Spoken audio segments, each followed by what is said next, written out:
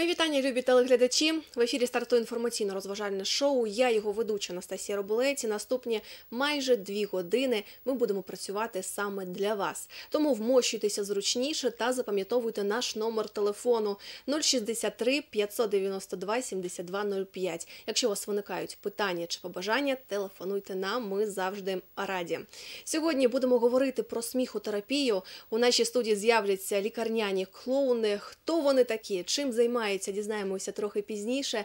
Також я познайомлю вас із першим українським графіком, який працює у японській техніці Мокулітом. Оксана Стратійчук завітала до Одеси з Києва, аби презентувати свою персональну виставку.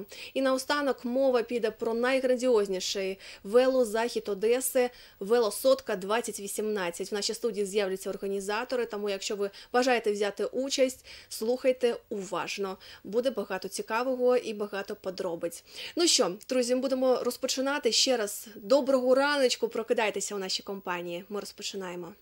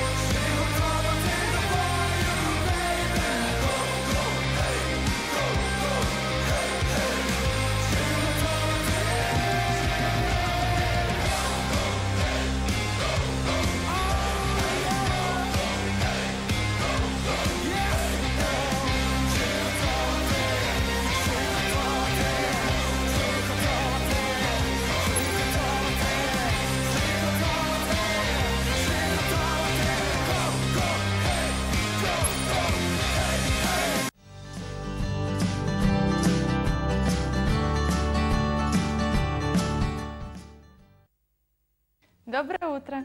И с вами снова Екатерина Друзьяк и наша утренняя зарядка. Что мы сегодня будем делать? Мы будем сегодня активно разминаться, активно готовиться к лету, готовиться к весне. В начале, что мы сделаем? Мы обязательно разомнемся. Вдох, руки наверх, выдох. И снова вдох, выдох. Еще раз вдох, руки оставляем наверху, наклоняемся вперед, тянемся, возвращаемся назад. Еще раз. Два, три, до, выдох, четыре. И еще один раз повторяем. Пять. Отлично. Опускаемся вниз, прижимаем себя к ногам, разгибаем колени. Делаем несколько движений. Хорошо. Делаем широкий шаг. Поворачиваемся к стопе. Наклоняемся. Тянемся к стопе. Растягиваемся. Отлично. Пружиним через центр. Поворачиваемся. Беремся за вторую стопу. Тянемся. Опускаемся вниз. Сгибаем колени. Ставим локти. Колени упираемся.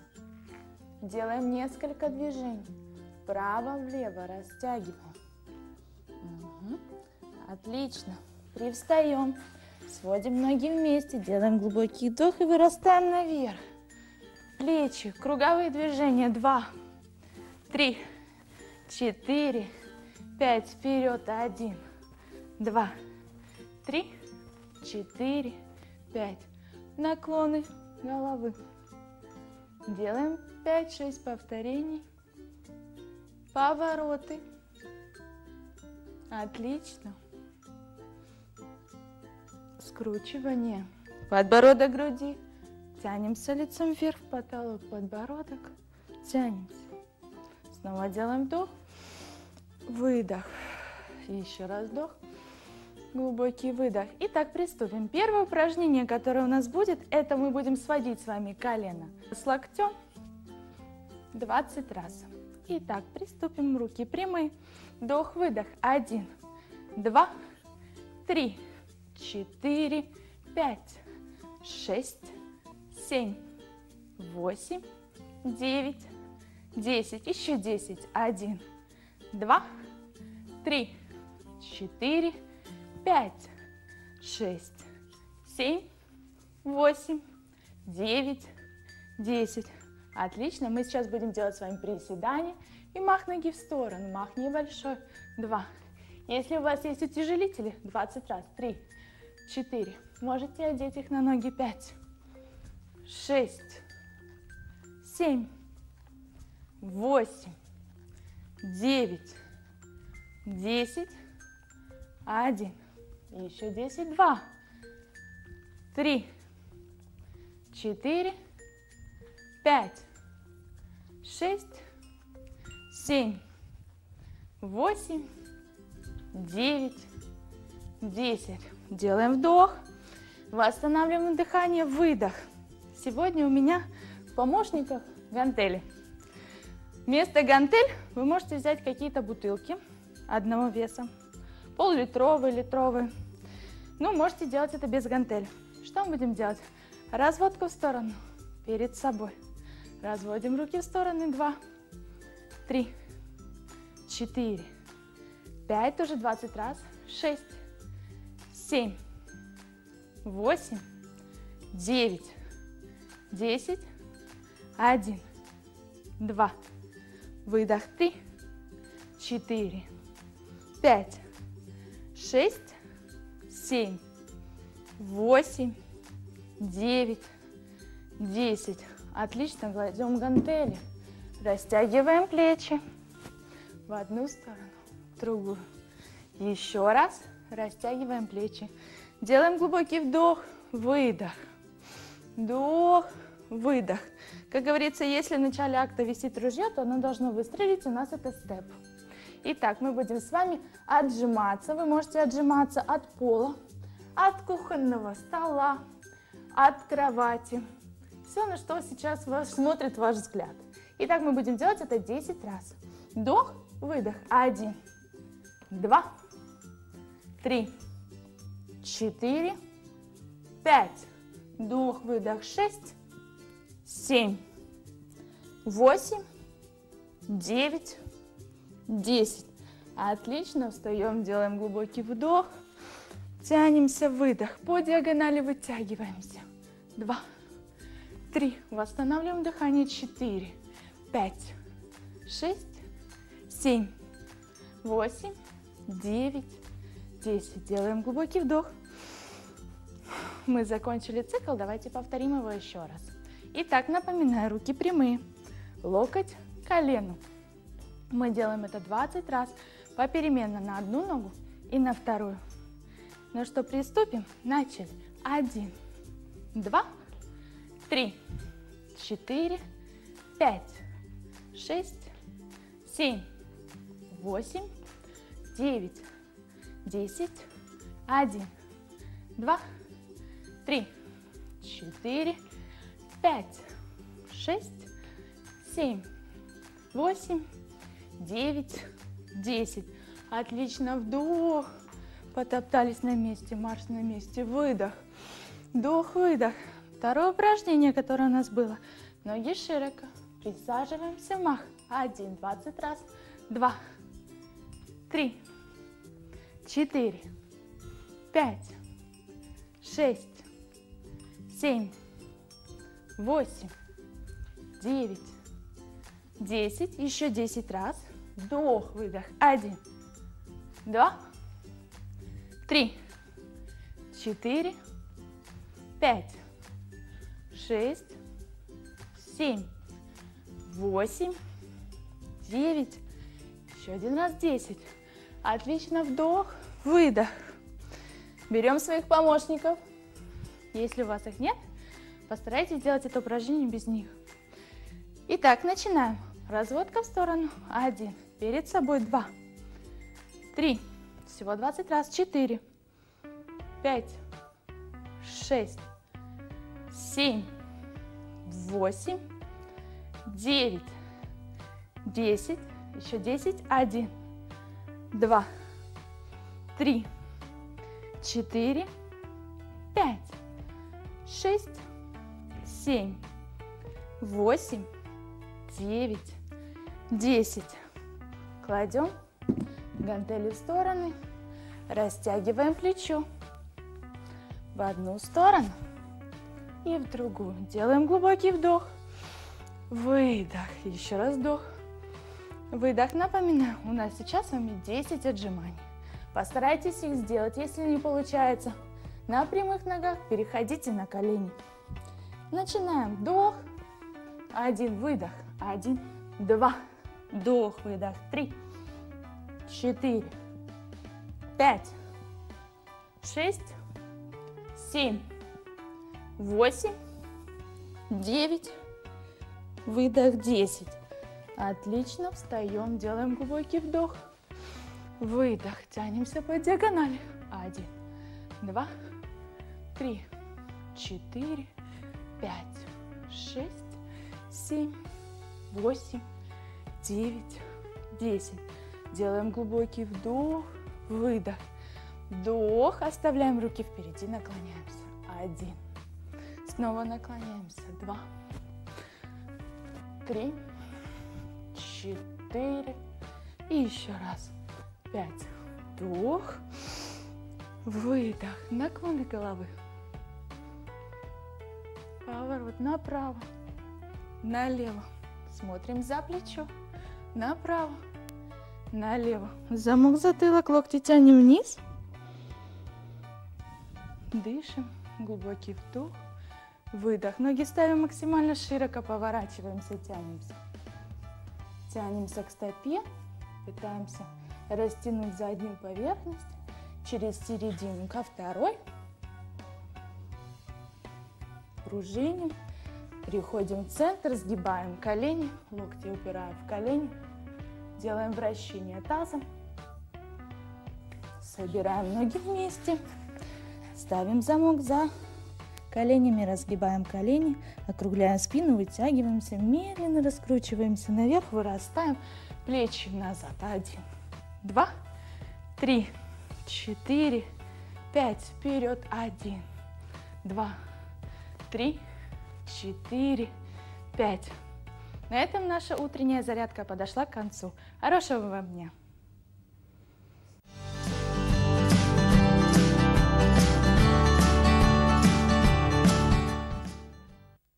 Я дякую Катерині Друзяк. Сподіваюся, що ви вже остаточно прокинулися, налаштувалися на нашу хвилю і вже готові слухати гарні новини. Бо по суботах інших і не повинно бути, скажу так. Отже, в Одеській міськраді збираються вести нову послугу, розсилати городянам смс-оповіщення про планове відключення води та світла. Всім одеситам, чиї мобільні номера телефонів є у загальній базі даних, такі повідомлення будуть надходити на телефон за день до відключення. Якщо ідея сподобається та проживеться, чиновники продовжать подібні нововведення і щодо інших послуг. Усі витрати на себе бере місто вже з бюджету е, Одеси виділено 70 тисяч гривень.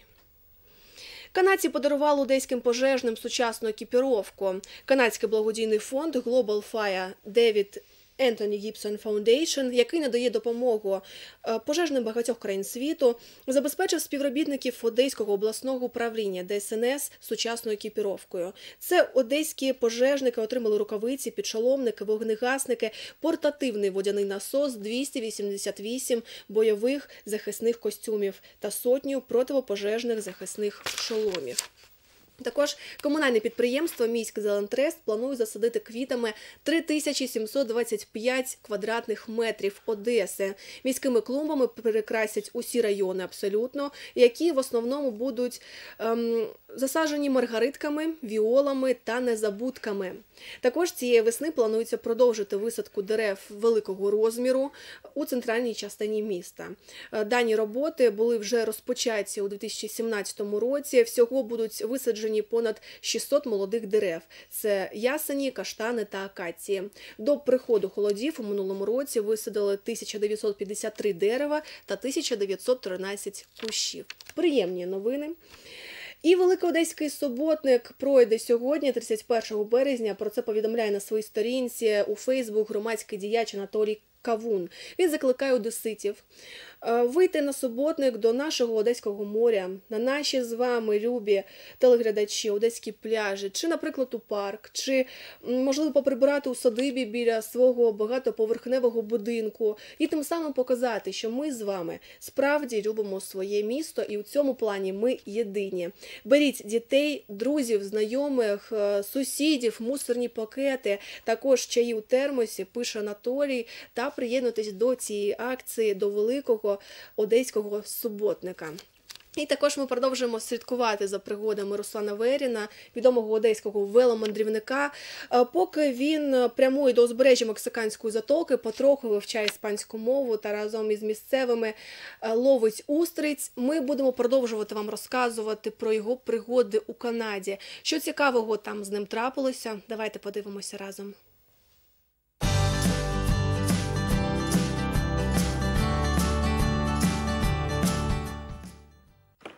Добрался до своего бассейна. Вот, столики. Ну, наконец-то я увидел мусор, мне стало немножко легче. Шучу. Ну, эта картина, конечно, редкая. Вот, для канадцев, для канадцев нормально, проходя мимо, взять вот так вот. Это я видел не раз.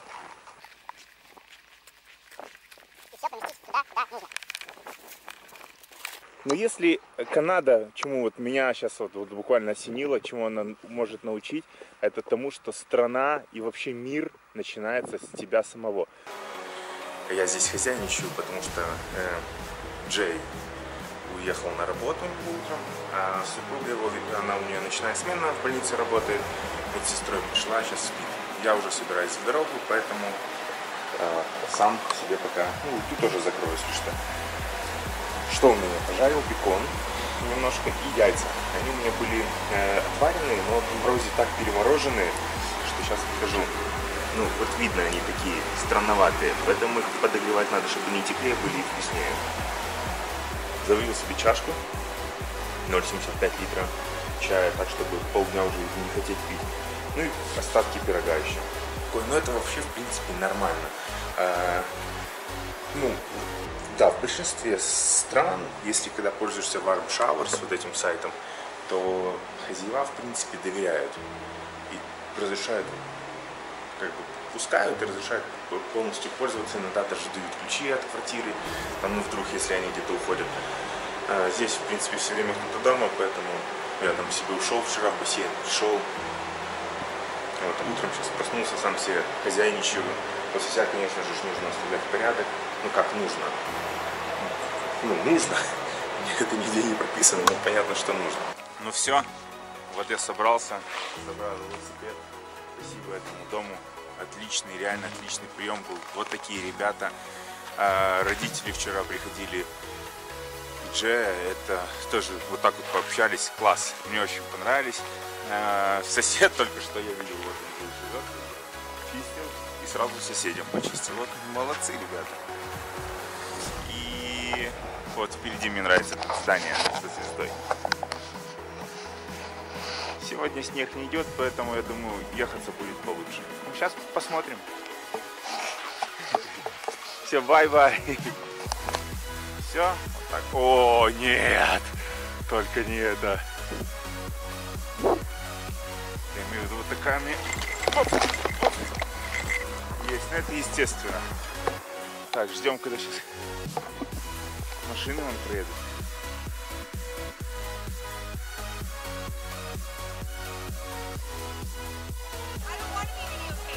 Not you, your car. Вот так вот.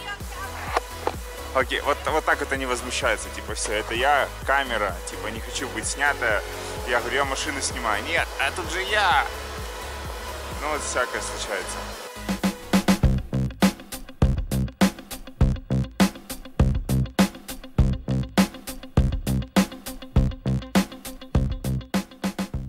Техника работает, снег чистят, складывают и вывозят.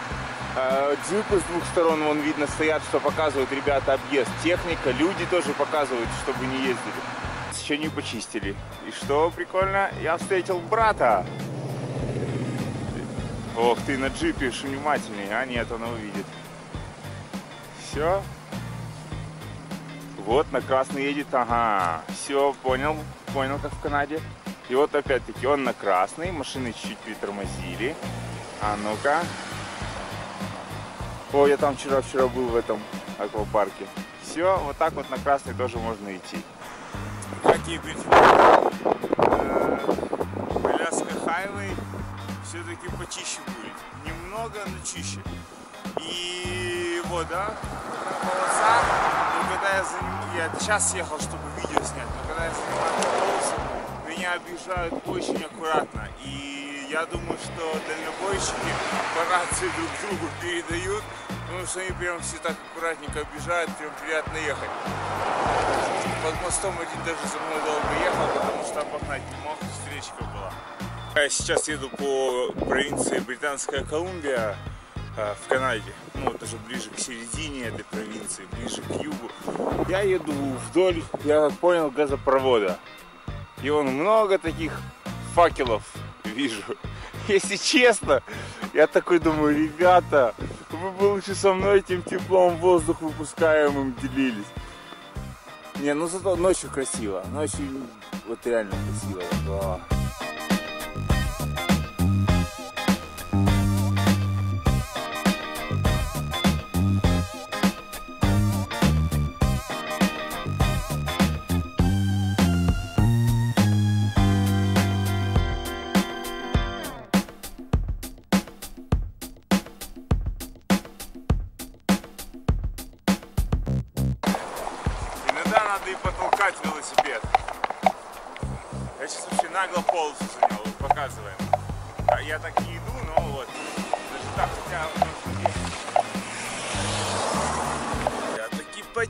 Поднялся наверх.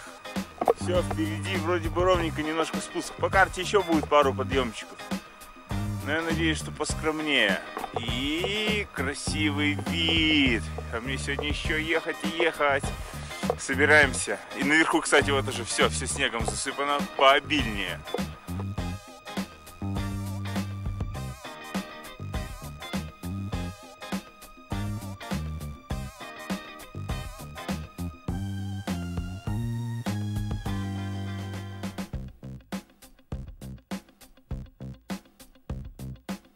Я отъехал 30, 30, 30 километров от мегаполиса, население в котором 25 тысяч населения.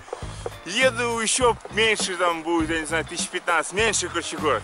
Середина провинции Британская Колумбия. Э, Аляска Хайвей. Э, По ней ездят машины, даже не похоже на киевскую трассу и близко. Вот, пожалуйста, смотрите, чистота, порядок, посыпано. Кто это делает, я не знаю. Меня прям реально вот Канада последнее время начала колбасить. Вот именно вот именно конкретное слово колбасит.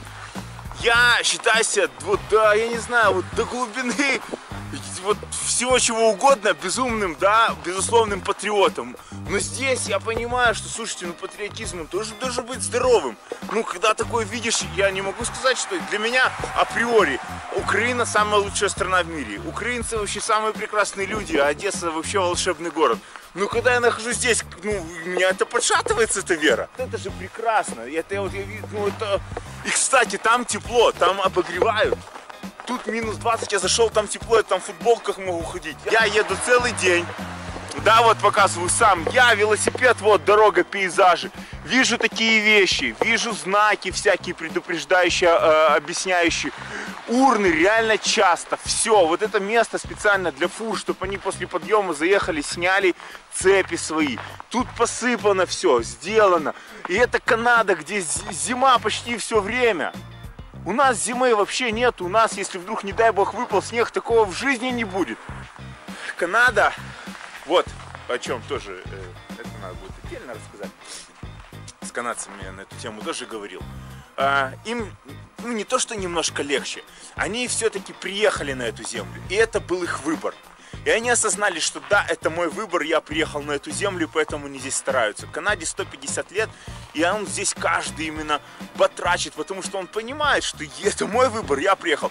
У нас, да, я родился, ну все это как данность, и хорошо, но что там, там же лучше, чем, чем здесь. Я, я вообще здесь жить не хочу. И такой разговор, кстати, вообще у нас через одного. Кто-то мечтает жить в любой другой стране, только не в Украине. Вопрос, почему он не уезжает, я не понимаю. Вот, и если я думаю, вот этот, э, если ты уже решил остаться, то будь счастлив и люби эту страну, не мечтай о другой стране. А если мечтаешь, дай волю своим мечтам, едь, короче, в другую страну. Я мечтаю проехать другой континент, померзнуть, еду и, и мерзну, блин, ну не надо дома сидеть и грызть себя. Короче, договорился я поваром Шауэрсу, чтобы меня встретил чудак в следующем городе. Позвонил ему за 20 километров, он говорит, да я к тебе приеду. Говорит, я тебя заберу, говорит, на встречу приехал ко мне, сразу же закинул мой велик к себе в кузов полный снега и говорит, поехали ко мне домой. Вообще моментально. Это, это мега гостеприимство какое-то такое. Не знаю, начало обещает. Ручка замерзла, сто лет на нем не ездил. А. Все, закрываем дверь. А, запотело. Во, видно? Так что вот так вот начало, посмотрим, как будет дальше. Very nice house. Очень, как, как, как в сказке. А вон огни, я не знаю, видно, не видно, то город уже. Ого, собака! Привет! Привет! Привет, да, понюхай меня. Понюхай. Пахну севером? Медведями пахнут? Нет, не было, не было медведей. Сейчас хозяйничал, Свет говорит, давай я его сейчас отвезу. I close. Все, закрыли. Okay, and that's Rogan. His name, yeah, he's uh, he's an Irish wolfhound. Я в шоке с чудака.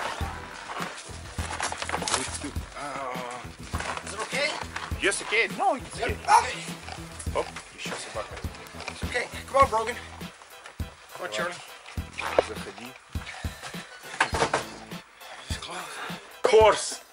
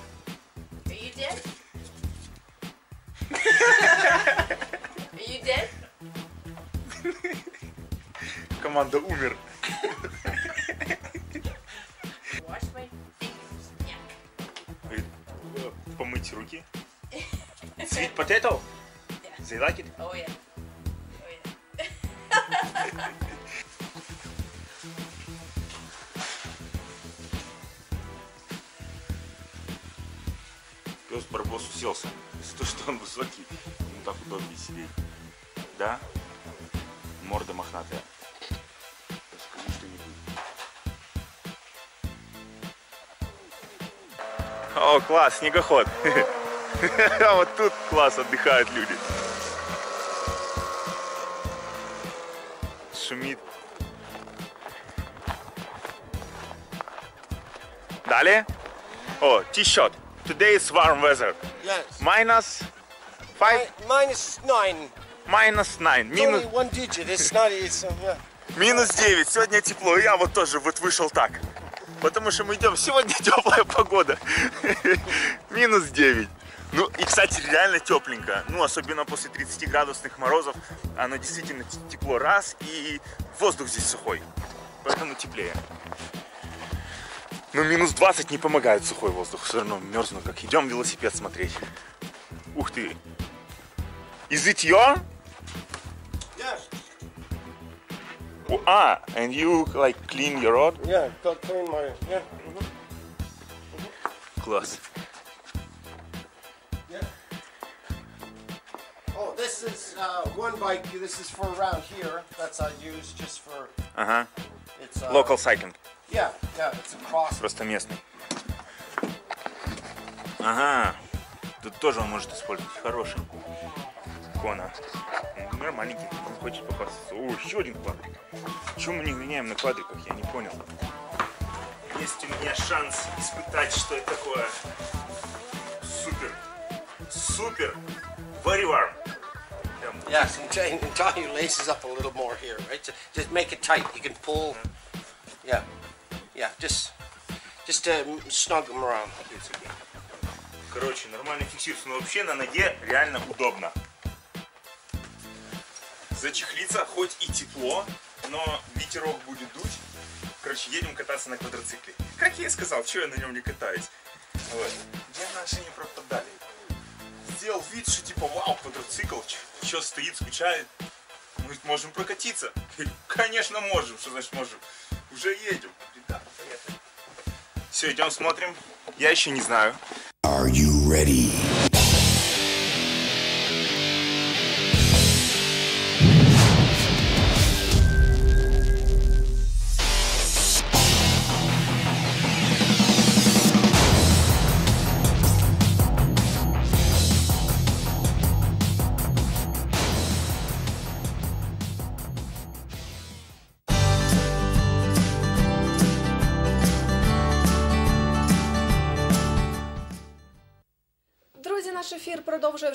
Традиційна рубрика нашої програми Слово дня, рубрика про мову, в рамках якої ми вивчаємо кожен день разом з вами, хоча б одне слово, чи слово вираз, чи якусь фразу болгарською, гагаузькою, молдавською чи німецькою мовою. Сьогодні пропоную вам вивчити, як буде лунати цими, цими мовами весняний настрій. Отже, болгарською пролетно настроєння, гагаузькою багар рухалі, наголос на А та то тут теж на не будемо оригінальними, так? Ще раз багар рухалі. На молдавській старе де спіріт, де примавара. Та німецькою ми зараз розглянемо декілька слів. Діфрюлінг німецькою у німецькому перекладі це весна і настрій. Ділауне. Але німці оригінальні люди, і в них є окреме своє слово діфрюлінгсгефюле, яке, власне, і переводиться, перекладається як весняний настрій. Ще, друзі, хочу вам нагадати про те, як е, швидко і головне якісно запам'ятовувати іноземні мови, фрази та слова. Головне працюйте на асоціаціях. Наприклад, настроєння ми бачимо, що е, у болгарській мові лунає і навіть лунає так само, як і в російській. Тобто ми наше настроєння згадуємо і одразу розуміємо, що болгарське слово таке ж. Отже, ми вже вивчили пролетно, зразу прилітаємо, так? Уже пролетно настроєння, вісняне настроєння, е, так лунає болгарською мовою. Насчет німецької мови ви запам'ятали, що є у німецькій мові окремі слова, але тим паче є зовсім інше слово, яке було вигадане для цього. Ще хочу розповісти вам про. Е, Таке явище його мовознавці називають мовною економією. Е, У німець німці полюбляють декілька слів поєднувати в одне. Це власне і є така речова мовна економія. Тож, друзі, оскільки сьогодні тут ми завершили, будемо продовжувати наш ефір далі. Оскільки зараз ми з вами зустрічаємося напередодні 1 квітня і у самому розпалі Комедіада 2018, ми е, вирішили запитати одеситів та гостей міста, як вони ставляться до цього свята, які відповіді давайте почуємо.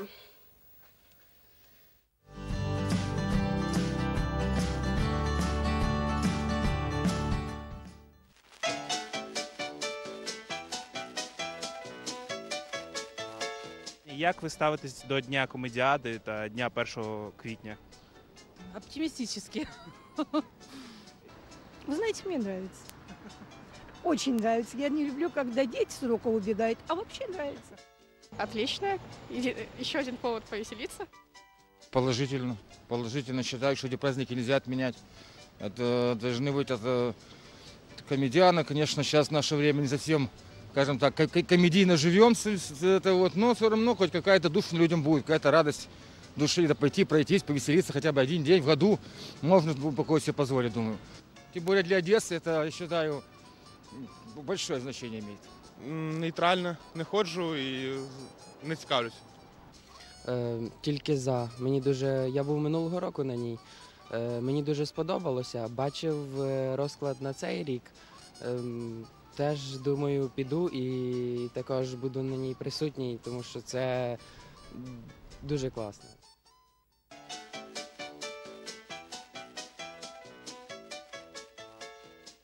Якщо б ви складали гумористичну мапу Одеси, е, то які би ви місця порадили туди для туристів? Дерибасовская. Это центр города, это сердце. Центр. Ну, конечно, старый город. Там очень много исторических памятников, которые напоминают это вот о наших и писателей, юмористов, и Дерибасовская тоже стул стоит. Э, То есть центр города там очень напоминает и, и Дюк, там, ну, вообще, вообще, и, я считаю, Приморский бульвар, там очень много событий связано с, э, именно с юмором одесситов, там, где вот именно проходят все эти действия. Я думаю, якийсь театр, в якому відбуваються вистави. Е, Точніше не можу сказати. М- Мускомедію. Взагалі Одеса як е, центр гумору в Україні, е, м, навіть культурна столиця, можна сказати, тому що е, прекрасний оперний театр і в центрі багато пам'яток різних.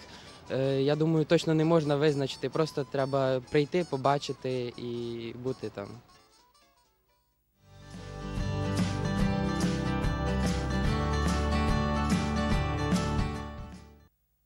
Тим, хто ще не до нас приєднався, нагадаємо, що для вас у прямому ефірі працює інформаційно-розважальне шоу Ранок Одеса. І зараз ми будемо говорити про цілющу силу сміху. У нас у гостях учасники благодійного некомерційного проекту Лікарняні клоуни України Сергій Демченко та Надія Машукова, артисти Одеського театру юного глядача та Валерія Задумкіна, актриса театру на чайні. Рада вас бачити в нашій студії. Здравствуйте. Оскільки ми зустрічаємося напередодні 1 квітня, скажіть, яке місце у вашому житті займає сміх?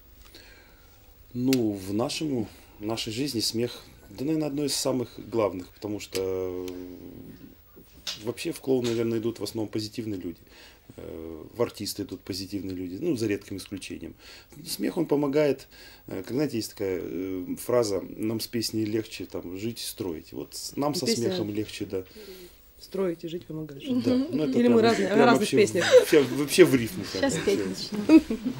Хоча, до речі, є стереотип, що, що клоуні, е, клоуни доволі сумні люди. Це неправда. Це так? не про нас. Добре, давайте будемо говорити про ваш е, благодійний некомерційний проект. Як довго він існує? О, С 2013 года. 2013 года, да. Э, Лето 2013 года, 16 июня. Я так розумію, ви ініціатор створення. Не совсем так. Э, Я как бы приглашенный, я первый клоун, которого пригласили в этот проект.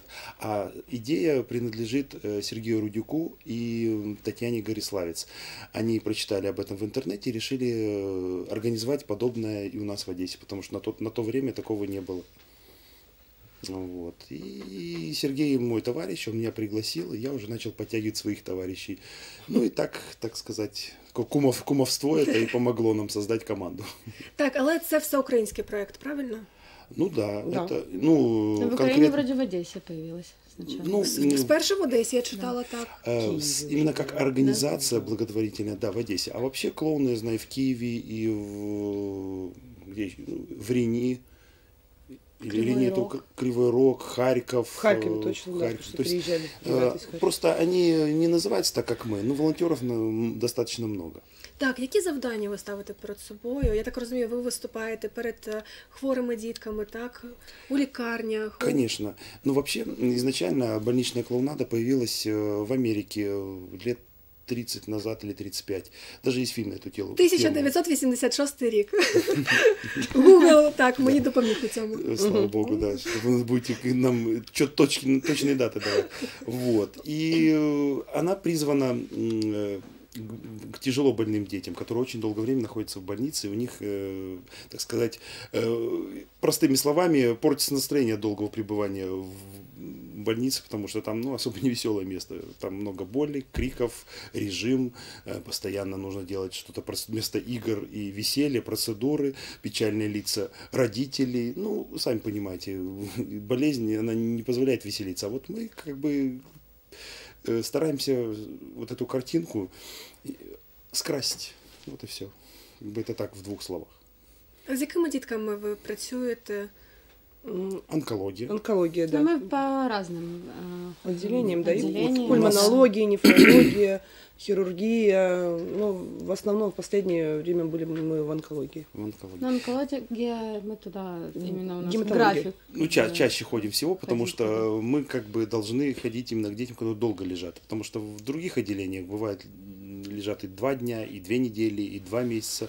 А Тяжелое отделение это онкология, ожоговые, гнойно-септическое. Там люди месяцами могут лежать. Ну и, соответственно, там мы более востребованы как, как клоуны. І мені здається, вас вже впізнають, так, чекають на зустріч з Ну, вами. конечно. Есть такое, да. Конечно, да, нас знают, даже ждут. Они, зн- ну, как мы ходим всегда по четвергам, и они знают это, про этот день и стараются, м, стараются, ну, мы еще и выбираем удобное время, чтобы не было каких-то процедур, обедов, там, сна. Вот, ну, знают, узнают, и что-то нам рассказывают, показывают, рисунки нам рисуют, и пытаются добавиться в друзья. Мгм. Ви актори. Чому ви вирішили взяти участь у цьому проєкті? Я впевнена, е, навантаження у вас і так велике, але чомусь ви знайшли і знаходите час для благодійності і для таких заходів. Ну, давай. Ну, я скажу только, что, может, наоборот сказать, что в больничную клоунаду в основном э, должны идти актеры. Потому что мы работаем в паре, и, ну, то есть это обязательно должен пара, не один клоун заходит в палату. И почему актеры? Мы должны э, вникнуть в эту, попасть в эту атмосферу ребенка. Он может там лежать долго, он, он, он может быть э, сосредоточен, допустим, на компьютере, на телевизоре. Мы должны как-то э, почувствовать эту атмосферу. По- Поэтому это образование э, очень важно. Да, просто таким людям легче, э, легче объяснить, что такое больничная клоунада. Э, Они, потому что все основано на, в основном на актерских тренингах разных школ. Есть и голландские, американские, Дания, Израиль, Украина, Россия. Все, ну, почти во всех странах есть подобные организации. Вот. И актеры, они, ну, они натренированы быстро воспринимать информацию, именно специфическую такую подобную, и, соответственно, и результат быстрее достигается. Вот, потому что они как бы уже тренированные сами по себе. Просто это чуть, чуть нужно подкорректировать э, ну, способ работы, или как не форма, а как правильно сказать, ну, методика работы, она Мгм. немножко отличается от большого зала. Просто зал становится меньше, камерность. э, То есть, Так, ну, от е, якраз давайте поговоримо про те, чим відрізняється лікарняна клоунада від тієї, яку ми звикли бачити у цирку, наприклад. Тільки тим, що ви виступаєте у лікарні, чи можливо є Ну, ще якісь? Смотрите, и- Сложно, мне кажется, объяснить. вот Объяснить, именно, э, да, Может надо быть, и прочувствовать. для меня, допустим, это не развеселить человека, а, скажем, переключить внимание. Ну, не всегда, мы не всегда можем развеселить ребенка. Он это не бывает, обязательно, да, у нас нет такой цели после развеселить. какой-то Но переключить внимание, да. Допустим, когда ставят э, там укол, да, мы можем что-то Да, там или вот- заговорить его. Не обязательно он в это время, будет- конечно, он не будет в это время хохотать. Да, но он отвлекается, Ну, допустим, он может. ставят им капельницу или э, вводят какие-то препараты э, через катетеры, и они, они смотрят на них, плачут. А когда мы заходим, кру- крутим шарик или устраиваем какие-то там игры, они автоматически отвлекаются. Ну, дети, э, дети есть дети, они не могут по-другому. Вот. И это помогает быстрее процедуру провести какую-то. И э, нет такого, ну, как бы шока болевого у ребенка. То есть, в принципе, достаточно много позитива в нашей работе в плане, ну, мы понимаем, что мы нужны в таких местах, и это очень мотивирует и наполняет энергией и дает силы, скажем так, э, постоянно ходить в место, где очень много боли. Да, мені здається, що ви ще й гарні психологи. Якщо це витримуєте і з, ко... з, кожним, е, з кожною дитиною знаходите е, теми для спілкування. Як це відбувається? І не буває потім е, вам якось на душі так не дуже гарно, коли розумієте, що така маленька дитина уже у цьому віці, вона стільки е, переживань в неї, взагалі стільки проблем навалилося на її плечі та на плечі їх батьків. Ну, ребятам, наверное, уже проще. Вот я очень хорошо это ощущаю. Я всего лишь год этим занимаюсь. И вот у нас сейчас э, был карантин по коре, мы не, не выходили. на Ну, нам выходы. не, просто не разрешали вообще не- Да, не и то есть вот мы только в марте опять начали, Да, возобновили да, постоянные выходы, и мне вот очень тяжело. Я прихожу, и мне хочется есть и- спать, и все. Ну, это пс- защита организма, пс- Да, вот э, когда давления. мы постоянно ходили там, ну вот э, предыдущий год, уже в какой-то момент ты, ну... э, Начинаешь, у- ну, умеешь справляться такими, Выстраивать, да, да, да. какую-то границу между своими внутренними переживаниями и э, отношением к больным детям. Ну, то есть его никуда не деть, но ты учишься защищаться каким-то образом, не, не пускать это Есть разные методики, глубоко, да. разные по- помогающие э, вещи, которые дают тебе возможность э, сосредоточиться именно на работе, а не на своих переживаниях, которые по, по сути могут помешать. Э, Потому что ребенку и так хватает сочувствия от родителей и от родственников. И, вот. А наша задача не показывать наоборот этого, чтобы они почувствовали себя обычными детьми, а не больными какими-то. То есть мы как бы от обратного идем. Ну, по- поэтому они нас и ждут и больше, Ну, чем... Да, ну я не знаю, ну если там прям перемкнуло, у меня было так один раз. Ну, Да я ну, просто не зашла не в было, эту да. палату. Ну, зашли в мои партнеры, другая пара. Ну, Да. не, не обязаны, на- нельзя делать что-то через... э, Ну, стало тяжело, допустим, было очень тяжело. Мальчик, э, тяжело больной ребенок, помнишь, ты Ну, еще да. говорил, там, может, ты там, э, давайте вы. Ну, я сказала, вот, я, ну, я не могу, вот что-то. Ну, ничего страшного. Ну, никто никому ничего не, ну, не должен, на самом деле. Наоборот, да. нужно за- с позитивом зайти, надо с Так, каким-то... согласна. Если тебе самой страшно, лучше, лучше, ну, зайди позже, через 5-10 минут, ничего Ну, опять страшного. же, да, как- чем больше ты этим занимаешься, тем ты м, лучше умеешь справляться с подобными мешающими работе вещами. Зазвичай це просте спілкування, чи можливо ви показуєте фокуси, чи якісь сюжети розігруєте. Да все вместе, вы знаете. Ну, в основном это сюжеты, скажем, это основной м, инструмент наш. Э, Потому что фокус ты можешь показать этому ребенку один раз. Все. А импровизация, вот, допустим, мы, бывает, договариваемся, вот сегодня мы там, ты собачка, я кошечка, ну, допустим, вот, и мы заходим в палату и пытаемся почувствовать э, настроение ребенка и начать какую-то игру и по- почувствовать к нему какой-то подход. Это, ну как, ты не можешь прочитать мысли, ты же не умеешь читать. Ты можешь по каким-то признакам попробовать нащупать. И вот ну, сама импровизация совмещена вот с этим нащупыванием мостика к, э, к ребенку, потому что состояния у них, бывает, как говорила Надя, разные. Они могут быть и под препаратами какими-то, и э, просто после химии там особо вообще не весело. Вот. И вот это процесс поиска постоянный, нащупывания каких-то вот этих ниточек, э, и вот э, такое вот налаживание общения. То есть его даже почувствовать нельзя. Если сильно маленькие детки, допустим, Может они какой? Они воспринимают больше какой-то звуковой ряд, да? Мы поем песенки, там какие-то... Как сказать, ви- хотел сказать видеоряд. Да, видеоряд у них один, такие пятна яркие ходят, это мы. да. Ну да. Ну, маленькие детки. Ну, в смысле, то там вот уже может быть и жонглирование, и какие-то песенки, какие-то, допустим, Да, то есть ними зависит от особо ж не ребёнка, поговоришь, они маленькие. Здесь тоже начинает помогать именно актерская профессия, ну, вот нащупать вот эту Вот, понятие опять же, эти зрителя. как бы, психологические да. вещи, которые ну, натренировываешь ты в своей профессии, они тоже, там, ну, как бы поэтому актерам и проще. Ну, психологам тоже достаточно проще. Единственное, что психологи, они на- заточены, может быть, на другое немножко, им тяжелее переключаться именно на игру как, как таковую. Хотя, видимо, психология, она тоже сродни. Ну, она актерская профессия, да. вообще сродни психологии. Мы же играем разные, разные роли, и людей с разной психологией. Бывает, нужно зайти просто даже поговорить, вот тихонечко. Да, вот я да. помню, мы с Надей, когда заходили, там э, сидел мальчик, э, он рисовал, ну, то есть он не плакал, ничего, он был просто очень сосредоточен на том, что вот он там Мгм. рисует.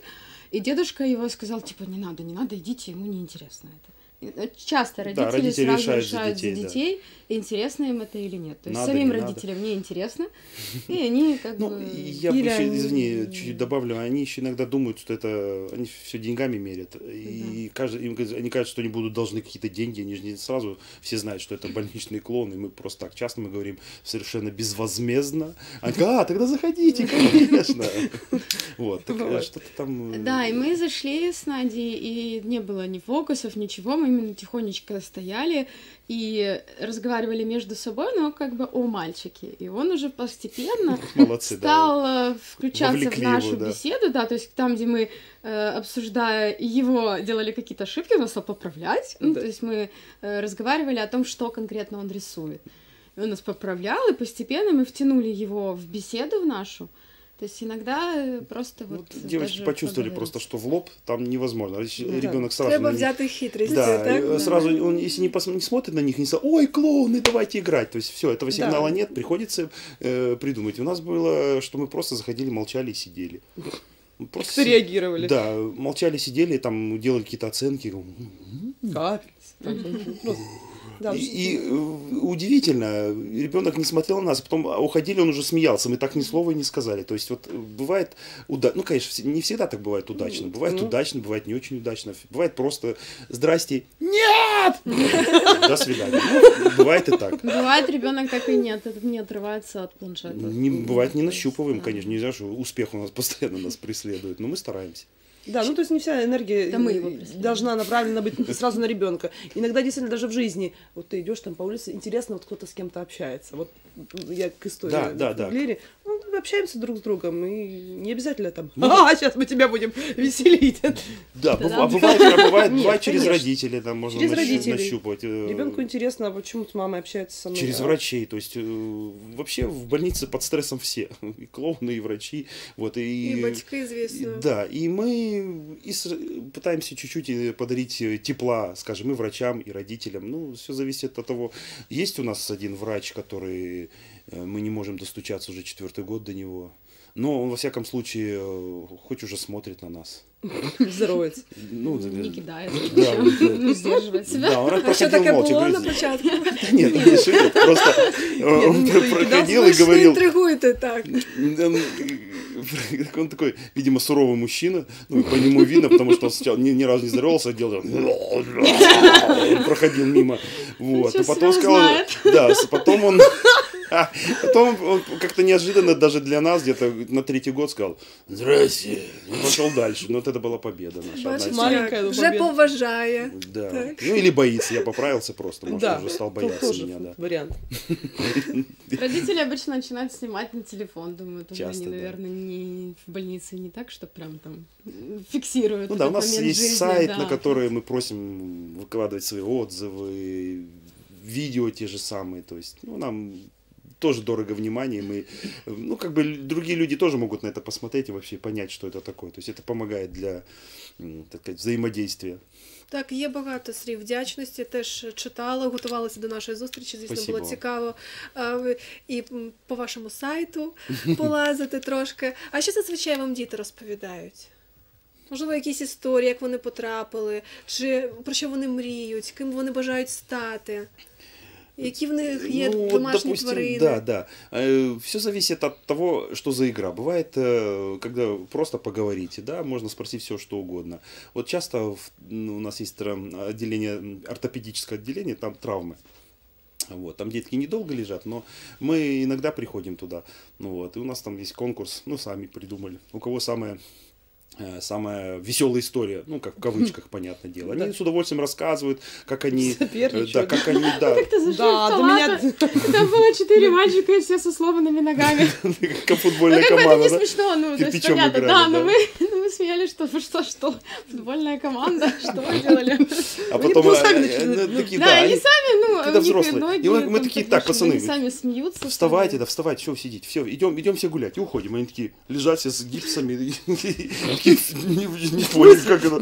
Как, Ну что вы лежите, говорю, «Вста- вставайте, что вы типа симулируете? Ну вот, то есть у нас Да, а еще у наших там вот э, тренеров, которые на- нас учили, а, мы-то, правда, еще не пробовали, по-моему, один раз только. Они просто не могут же пош- пошевелиться, они гипсы разрисовывают всякими там. Да, всякими- план побега, говорит, давай Да, нарисуем план побега побега, на да. гипсе. И Да. так смешно, они лежат с этими разноцветными гипсами. и- Да, У нас, нас Потом замечательные они очень долго читают, что там- к нам, да, ну, это вот Костя Седов, как-нибудь это делать. э, организатор Почаще. эм, больничных клоунов России, то есть у них об- Они молодцы около какие. 60 человек работает в нескольких городах, то есть тоже большая. И вот э, как бы с него началась и наша история, скажем так. Да. Зам- Да. Да, по всій Україні ви сказали, у Росії 60 волонтерів. У нас скільки? Э, Ну, у них получается, по-моему, Яка там команда у нас? две организации, вот одна из них, э, я не знаю, сколько в той, но у них и объемы другие. Там одна только онкология занимает э, площадь большую, чем наша вся областная больница. То есть просто это одно отделение. Вот. А у нас, ну, точных цифр я не знаю, но достаточно много. Ну, не знаю, ну, десятками, наверное. В Харькове много людей. Э, Ну, во всех крупных городах есть. У нас вот в Одессе семь клоунов. І це виключно актори. Чи є представники якихось інших професій? Ну, смотрите, у нас есть Витя, Виктор Фурдой, он ведущий, шоумен. э, Ну, тоже. как бы. Тоже Теж актер. Ну, он можно, учился да, актерскому, да. Да, он... А все остальные актеры. Да, в основном все, а все остальные актеры. Ну, им просто легче, мы как на одном языке разговариваем. То есть у нас были разные э, ребята, которые хотели, вот, ну, в- по разным причинам, как бы они не дошли до сегодняшнего эфира, скажем так. Так мило. Так, але будемо сподіватися, можливо, зараз нас хтось бачить з акторськими даними, здібностями. Можливо, він теж захоче до вас приєднатися. Чи чекаєте ви на поповнення?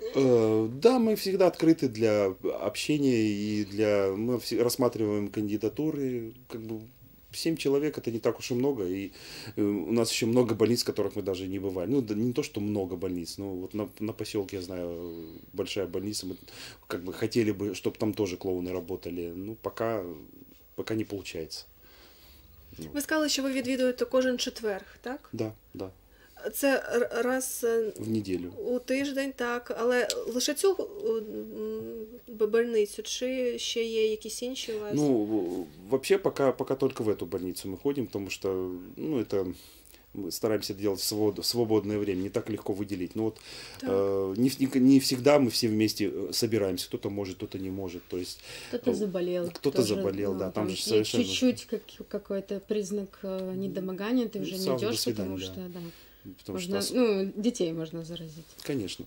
Вот. И ну вот только по четвергам, ну, если бы была бы еще какая-то больница, мы бы выделили еще какой-то день, ну, для той команды. Вот. Ну, вообще просто мы не можем ходить каждый день. Так, Э, звісно, звісно. Потому что психологическое давление его никто не выдержит. Вообще, по нормам клоунским, скажем так, не больше двух выходов э, в неделю. Выход не больше, по-моему, двух-трех часов. Если два выхода, то не больше двух-трех. Один-то может быть и до четырех часов Ну, дотягивает. сложно, два часа это, Это вот, просто, это, ну, это, да, ты, да. ну, ты валишься с ног уже просто.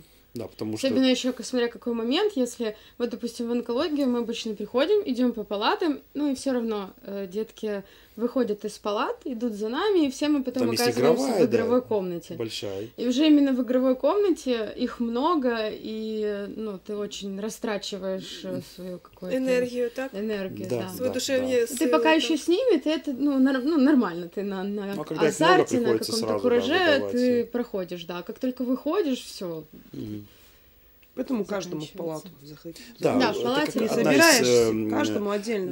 не знаю, как назвать, правила или вот э, что все-таки по палатам, потому что если их много, это уже другой вид клоунады, скажем так. Не уже это не больничное, это уже э, Ну, то, что мы говорили, больше да, да анимация. массовка, мы- анимация, там уже другие приемы используются, потому что ну, детей больше, соответственно. А, как- а когда их много, они более активные становятся, они везде это можно, то есть много таких вот вопросов, особенно в онкологии, то есть они, ну, детки есть детки, не все хотят побегать, но не всем можно.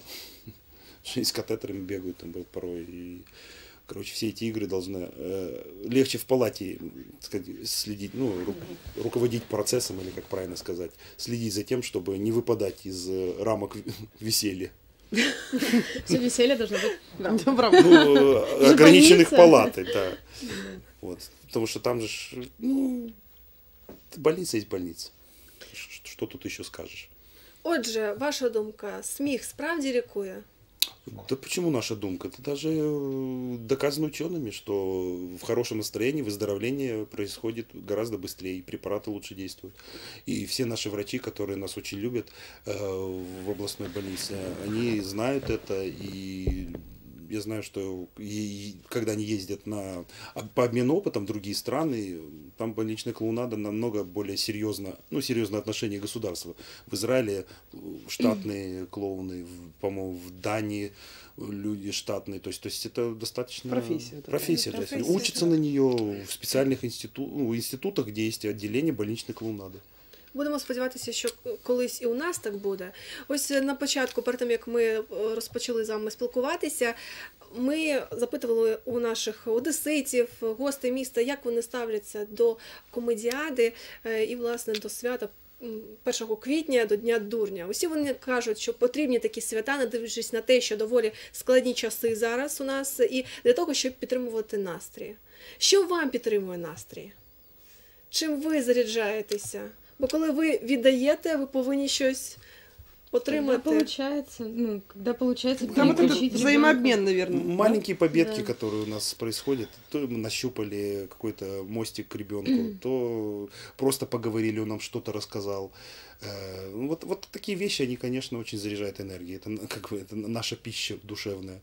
Вот. Ну и в, в общем мотивация. Мы знаем, что мы нужны э, там. И это, это заставляет нас каждый четверг подниматься в 7 утра, собираться и ехать.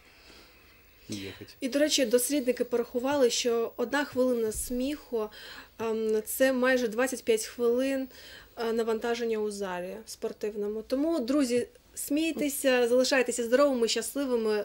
Да, у вас будет больше времени дома, не надо будет ходить в спортзал. Так, головне сміятися. так? Очень много смеется. Да, видно, что я смеюсь. Дякую, дякую, друзі, вам за участь у Спасибо. нашій програмі. Натхнення вам сил і нехай.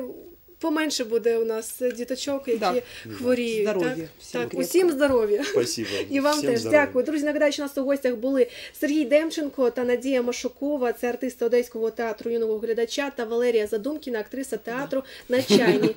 Нагадаю, що ем, учасники нашої програми, е, учасники благодійного некомерційного проєкту Лікарняні клоуни України. Друзі, оскільки за декілька хвилин ми будемо вже говорити про силу мистецтва, пропоную подивитися невеличке відеосюжет моєї колеги Гани Тарзівець і налаштуватися на цю хвилю.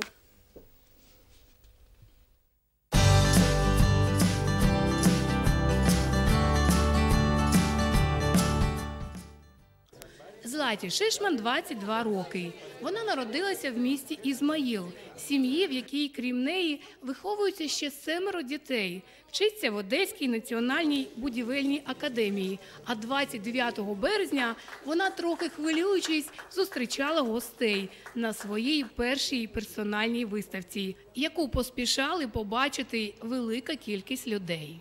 Важен опыт, ну а руководствуюсь, наверное, пишу то, что мне нравится. Злата Шишман малює стільки, скільки себе пам'ятає. На її сьогоднішніх картинах ми бачимо світ яскравим, теплим та сонячним. І подобається, як світло огортає обличчя, предмети, будинки. І це гармонійне злиття вона переносить на полотна і робить це не так, як інші художники. Она очень не похожа. Она вот своей, своей техникой, фактурами, она уже состоялась как отдельный живописец. Я так считаю. На картинах Злати дуже багато куполів церков. Ось як вона це пояснює. Я вот когда вижу, вижу пейзаж и там храм, оно какую-то дает завершенность. И это золото в небе, ну, это передать вот эти вот оттенок золота, оно постоянно, в зависимости от того, как на него падает солнце, как на нем, в нем отражается небо, оно может быть разное по цвету и по тону. Оно играет. И это настолько, ну, не знаю, меня так впечатляет. Виставка молодої художниці відкрилася в приміщенні кафедри образотворчого мистецтва Одеської національної будівельної академії. Поруч з нею керівництво навчального закладу і наставники, вчителі, відомі одеські художники. І всі вони не скупилися на теплі відгуки і теплі побажання. Злата ходит и пишет этюды с утра до вечера. И очень ревностно относится к тому, что когда погода этого не позволяет, или какие-то обстоятельства, которые препятствуют этому. И вот она фанатично любит живопись, у нее это получается, она достаточно тонкий колорист. Це слова її вчителя Володимира Соколюка. А ось що про творчість молодої художниці сказав досвідчений майстер пензля Анатолій Горбенко. Очень-очень красивые, хорошие, гармо- гармо- гармоничные, э, колоритные, композиционные, очень тонкие работы. І дійсно, в картинах Злати виконані в стилі олійного живопису та графіки багато світла і гармонійних кольорів. Вони були цікаві всім і колегам-художникам, і молоді, і навіть дітям. Вони з цікавістю розглядали їх і посміхалися. Виставка стала приводом для творчості і для інших молодих художниць, які малювали те, що бачили, але робили це емоційно. А емоції тут були всюди. Злата відобразила в кожній з 53 робіт безліч посмішок і тепла. Хоча, як кажуть її колеги, в житті вона дуже серйозна та цілеспрямована. Злата очень необычна своим характером. Она хрупкая девушка с виду, но у нее характер очень сильный, мужской такой. Вот. И она очень трудолюбивая, очень. То есть, э, когда другие хотят там отдохнуть немножечко, Злата берет краски в руки, этюдник и вперед писать э, картины, этюды. Вот. Э, она, ну, всем дає нам примір. Злата Шишман молода, але перспективна художниця, яка намалює ще не один шедевр. Ми будемо їх чекати, а поки насолоджуватися і сучасною творчістю, яка сіє мир, добро та любов.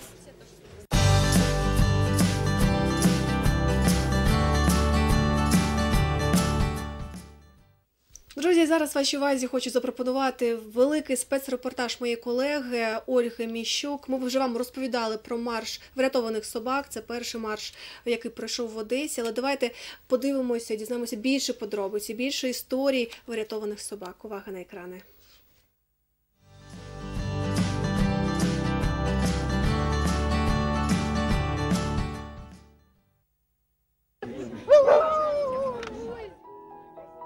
Якби собаки вміли говорити, то саме так напевно виголосили би девіз акції У добра немає межі породи. Адже взяти участь у марші врятованих собак могли не лише ті чотирилапі, яким прийшли на допомогу волонтери, чи просто небайдужі одесити, а й господарі породніх тварин. Это Марсель. Мы не любим мочить лапки. И не любим, когда нам холодно в лапки. Потому что мы подушечные собаки, даже не диванные. Каріна разом зі своїм другом, п'ятимісячним Френкі, прийшла у міський сад, аби підтримати подругу, яка саме забрала з вулиці безхатню собаку. не только породистые животные имеют право на дом, а для того, чтобы увидеть, э, сколько домашних, э, домашних животных есть и непородистые, и они тоже заслуживают на любовь, заботу. Що стосується самої подруги Аріни, то вона із врятованою з вулиці собакою Летті найкращі подружки. Два роки тому дівчинка, повертаючись зі школи додому, зустріла собаку, зазирнула її в очі і вже просто не змогла з нею розлучитися.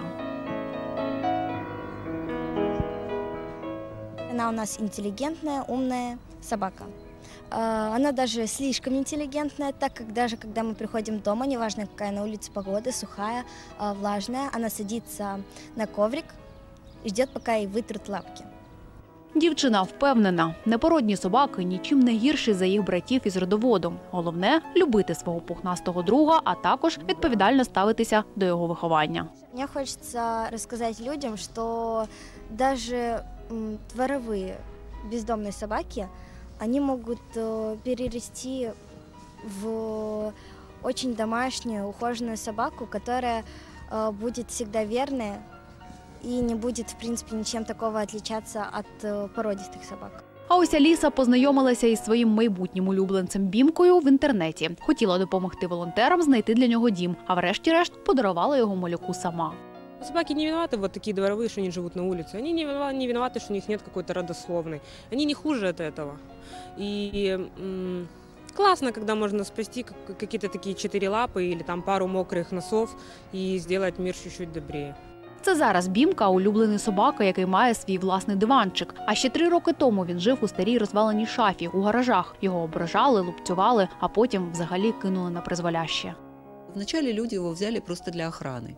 Причем э, надо было видеть этого Бимку. Он совсем маленький. Это крошечная домашняя собака. Люди, которые его взяли, просто относились к нему не как к живому существу, а просто как к какому-то вот, ну, как вещи, которые вот он должен просто сидеть охранять. Конечно, он охранять не умел эти гаражи. Он не умел лаять, он всего боялся, он такой робкий, он очень застенчивый пес. Его выгнали, он скитался, он жил в подъездах. По всей видимости, его били, потому что, когда к нему подносили руки, он сразу начинал вздрагивать, он прямо так вот весь сжимался сразу. Э, И в итоге он попал в место, это были такие развалины, э, где стояла старая мебель, какие-то шкафы, ящики, его там просто привязали. И он сидел на веревке, на куске от веревки, и ночевал он в этом шкафу. Когда мы его брали, Юля говорила, он вообще не лает. Мгм.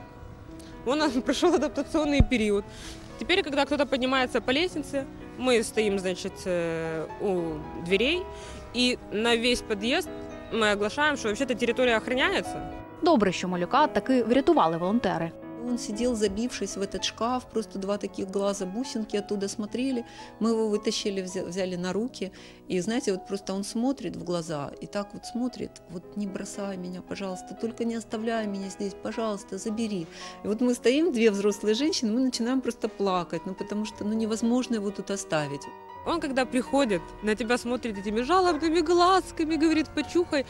Нет разницы, какая порода. Точно так же, как у человека нет разницы, как он выглядит, если у него классное доброе сердце.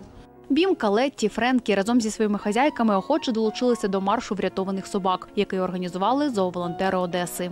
Одним из девизов этого марша, что у собак нет породы, что любая собака цена, любая собака любима, вне зависимости породная она, беспородная. Цель призвать к хорошему, доброму отношению к животным, цель познакомиться, цель подружиться, цель вместе спасать братьев наших пушистых.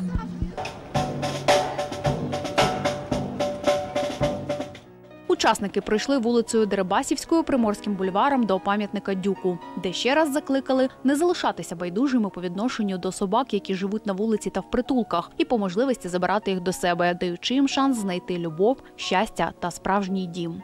У добра нет границы пород. У добра нет границы пород. У добра нет границы пород. У більшості собак, які взяли участь у марші, важке минуле. Вони жили в притулках або на вулиці. Їх врятували від голоду, побоїв, хвороб або ж спроб отруєння. Отож вони ще більш вдячні людям по-справжньому. Переконатися в цьому не складно. Просто зазирніть у їх віддані очі.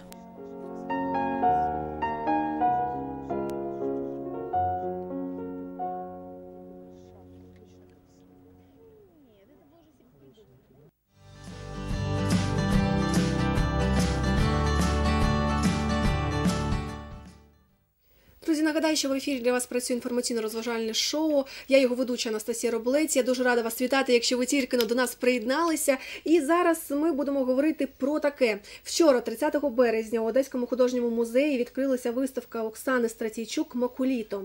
Про це та інше ми будемо ми якраз і поговоримо з Оксаною е, Стратійчук, художницею, віртуозним графіком та Іваною Стратійчук, мистецтвознавцем. Дуже рада вас бачити в нашій студії. Давайте, щоб не гаяти час, одразу будемо запрошувати наших телеглядачів на вашу виставку. Скажіть, як довго вона буде тривати? Ну, за планом вона е, е, триватиме до 22 квітня. Час Але- є, так. Е, Але е, вчора в музеї нас попередили, що можливо вона буде скорочена на декілька днів через те, що вони планують там фарбувати зали і якісь робити хороші речі. Ремонтні роботи, Так. так. Отже, кожен день без вих... без вихідних чи з вихідними, як це? Ну наскільки я Ну, знаю, вівторок вівторок музей має вихідний день. Одеський художній музей. Музей. Так, друзі, тоді, окрім вівторка, приходьте на виставку Оксани. Е, Дуже цікава виставка. Е, Скажіть, скільки е, робіт ваших представлено в експозиції? Е, Якщо я не помиляюся, Іванка, 23... 23 роботи і 14 дошок. Тобто на виставці представлені е, Макуліто це друкована техніка. Так, японська. Японська, в якій, як в будь-якій друкованій техніці, є відбиток і є форма, з якої робиться цей відбиток. На виставку Оксани ми привезли як відбитки, об- оформлені в рами в ск- під склом, як за класикою графічного мистецтва, так і привезли і виставили графічні форми, на яких власне можна подивитися таку зворотню сторону цього мистецтва. Дзеркальну сторону. Дзеркальну. Оксана, це правда, що ви перший графік, е, український графік, який працює із е, цією японською технікою? Для нас незвичною. А, ну, насправді е, достеменно не можу я сказати, перший я чи не перший, але мені так здається, бо а, коли я вивчала цю техніку в Італії на графічних курсах, то, по-перше, ніхто з України туди не приїздив, не доїздив до мене. От, і е, якось не було так. Ну, навіть в інтернеті не було ніяких, е, ніяких відео, ніяких матеріалів, щоб побачити взагалі, як люди щось роблять. От, але зараз є і мої учні, і мої студенти, і послідовники. Тобто, і завдяки знову ж таки доступності інформації е, це поширюється. Ну просто може я досить багато зробила, і, і тому так. Я думаю. Скажіть, це правда, що е, вперше ви представляєте свою виставку в Одесі? Та я в Одесі можу сказати вперше. Як Ну, так сталося? Бо я знаю, що з вашою творчістю добре знайомі по всій Україні і за кордоном теж. Як так сталося? Чому Одеса тільки сьогодні? Ну, якось тільки так зараз? сталося. Я тут була кілька разів проїздом на якісь пленери, котрі проводились. У вас є такий е, художник Михайло Пархоменко. Він влаштовує дуже часто такі мистецькі якісь заходи. І от я двічі була в Одесі там по, по півдня, по, по дорозі там кудись. От так що ну так сталося, так е, і добре, що сталося. Всім цікаво, мені цікаво, вам, я сподіваюся, буде цікаво. Ці- Вже цікаво. Бо Давайте поговоримо про Моколіта, як взагалі функціонує е, ця техніка, бо дуже складно собі уявити. Основа це е, плоский друк. Поясніть. Зараз ми трохи можемо побачити, що відбувається на екрані. А на екрані у нас картинка з офортами. Так, зараз, але до цього режисерка показувала, як ви робите відбиток. Це дуже цікаво. Взагалі, як ви дізналися про цю техніку, якщо в Україні не було людей, які її займалися? Ну, це сталося. Я офортист взагалі. Це е, така класична техніка глибокого друку. Можливо, ви більше знаєте про неї. Е, от і я е, хотіла поїхати. У мене подруга мешкає в Італії. Я хотіла поїхати до неї в гості. А я не люблю просто так їздити в гості і завжди шукаю собі якусь справу. От. І там в цьому містечку, де вона Урбіно, прекрасне місто, де вона живе, е, відбуваються такі міжнародні графічні курси. І мене туди запросили, і це була як, ну так би мовити, все зрослося. Я їхала на курс, я записалася на курс з Офорту. Думаю, ну я наче про Офорт знаю все, але е, може я чогось не знаю. Е, От. Ну, може, там щось я довідаюсь такої, якісь таємниці майстерності. І буквально там за якийсь тиждень до від'їзду вона мені пише: Оксанка, міняється все, офорту не буде, буде нова техніка. Ну, квитки куплені, за курс заплачено, я їду на нову техніку, і мені дуже сподобалося. Ну от, е, е, правда, щоправда, в мене там нічого не вийшло, бо на мені закінчилися туші, ну, матеріали закінчилися. Я привезла свої, які не працювали. Ну, не, не можна було зробити якісні відбитки. От, але е, тобто я просто гравюри поробила, бо треба ще й підпитки лишити було. От, І, але, але ну, я записала все і кілька років пішло на те, щоб знайти букову фанеру, якої там в Україні не можеш купити. Можеш купити кубометри замість того там якихось е, квадратних метрів, котрі мені потрібні для роботи. Спеціальна літографська туш Арбонель, яку в Україну теж не привозять. І мені друзі там за кордону привозили, і потім я вже інтернетом почала замовляти. От, потім потрібно було знайти вільний час для того, щоб зробити ці певні експерименти, спробувати, як ці матеріали, котрі я придбала, як вони працюють. Ну, от, е, ну і коли все вийшло, і так я вже якось і до форту навіть і майже і не повертаюся, тому що мене захопила ця техніка, її можливості. І, і ефект, який я отримую в результаті ось цього друку. Тому що тут е, дуже багато таких моментів, яких ти не можеш передбачити. І ти працюєш і не знаєш, е, е, що в тебе буде в результаті. Це цікаво. Така інтрига до останнього зберігається. У чому унікальність цієї техніки? У чому особливість? Е, Ну, тоді потрібно вам пояснити, що плоский друк це власне літографія. Тобто це матриця, це спеціальний літографський камінь, який е, працює на принципі е, зображення наноситься жирними матеріалами. А камінь, камінь зволожується під час, ну там обробляється певним хімічним чином. А під час друку камінь зволожується і е, на принципі відштовхування вог- вогка поверхня відштовхує фарбу. Фарба наноситься валом. Е, От вогка поверхня каменю відштовхує, зажирені місця беруть фарбу, і оце матриця. Тоді накладається папір на спеціальному пресі, ти отримуєш відбиток. Тобто те, що художник намалював жирним матеріалом, воно приймає друкарську фарбу і віддає так само. От, е, це е, моку літо, моку з японської е, дерево, літо камінь з латини. От, тобто це техніка, яка теж є плоский друк по принципу літографії, але з фанери, з дерева. І е, у мене її можна друкувати під офортним верстатом. Тобто це те обладнання, яке я маю в себе в майстерні. Е, Вона абсолютно е, нетоксична.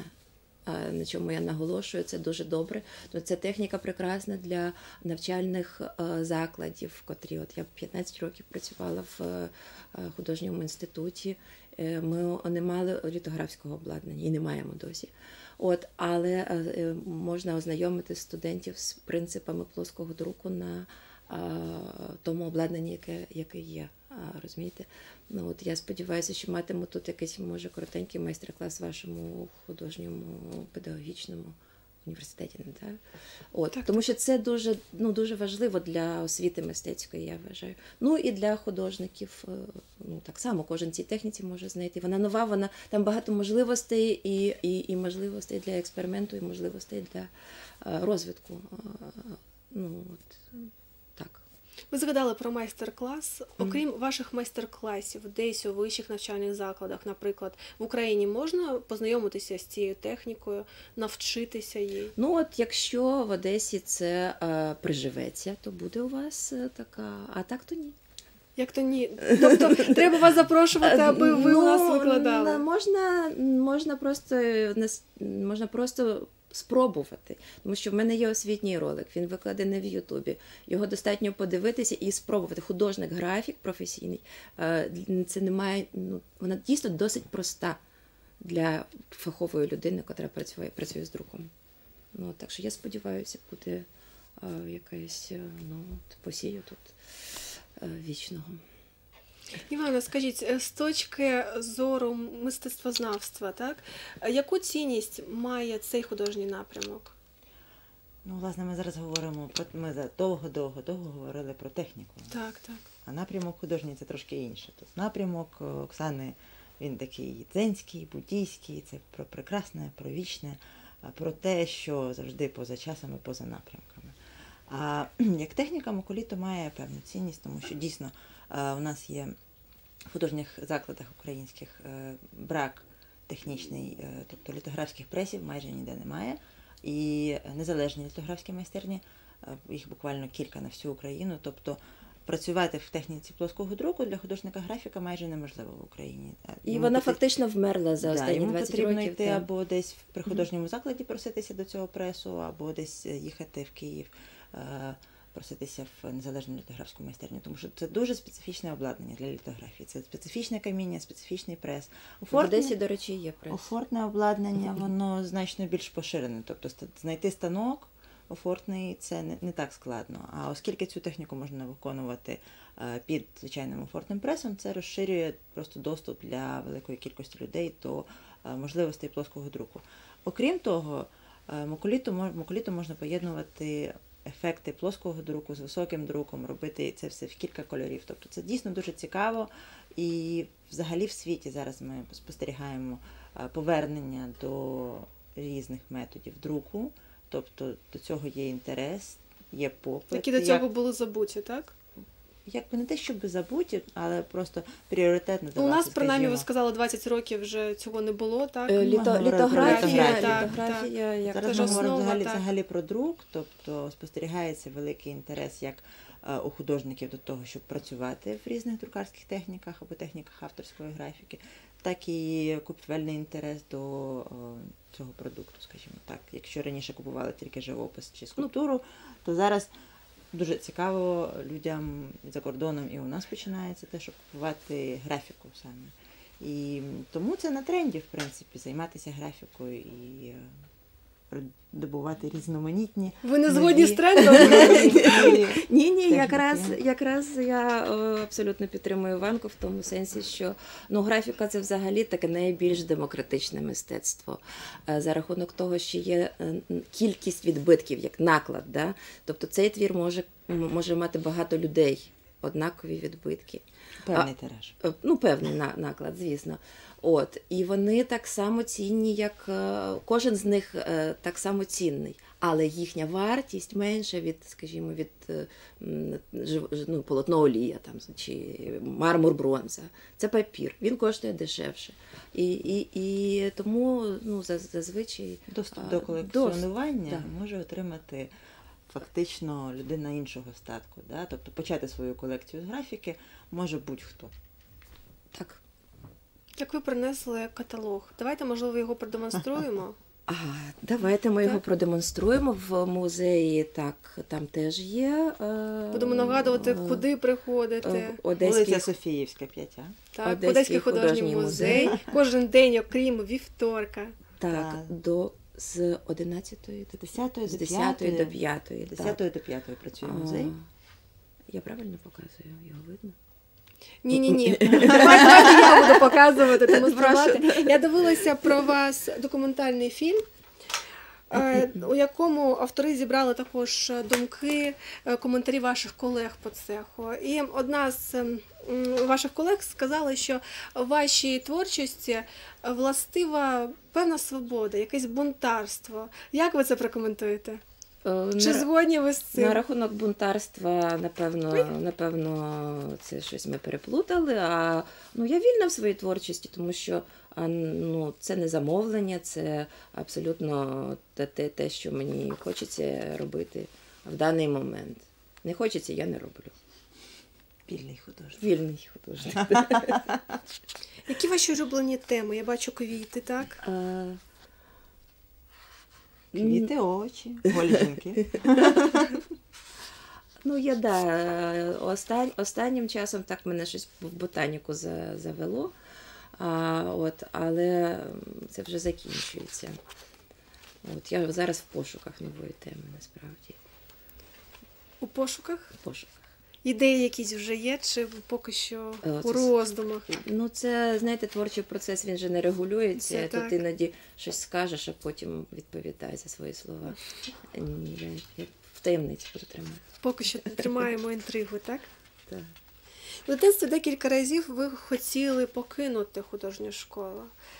Якби це сталося, як ви вважаєте? Ви, по-перше, не жалкуєте зараз, що так сталося, і що ви е, о, знані і відома графіст в Україні і за кордоном, що все ж таки все добре. Чи можливо зараз ви.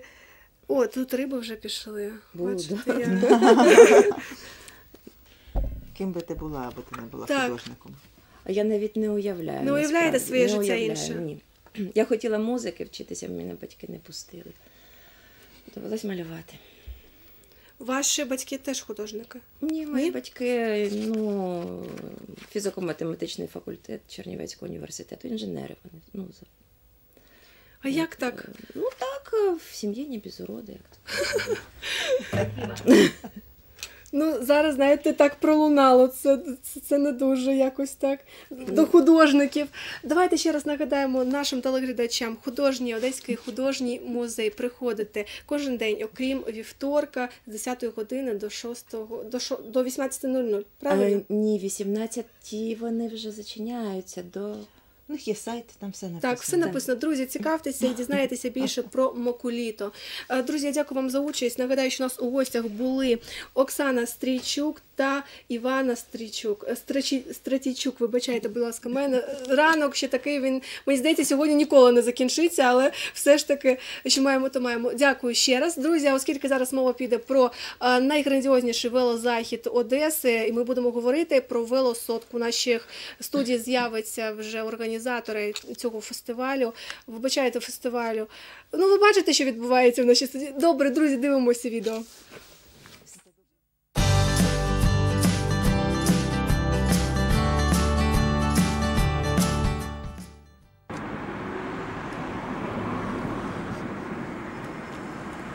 Одесса, мы едем!